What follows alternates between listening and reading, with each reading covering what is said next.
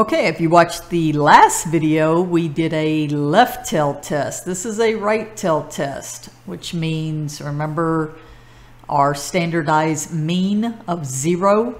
So this is going to be area to the right that we want to find this p-value. And this is where I said in your Google Sheets, when it's a right tail, then you start at that value and then you just go to a really, really big value, call it infinity, and we get our answer. This one wanted rounded to, I think, three, four decimal place. I, I think three decimal places, so 0 0.001.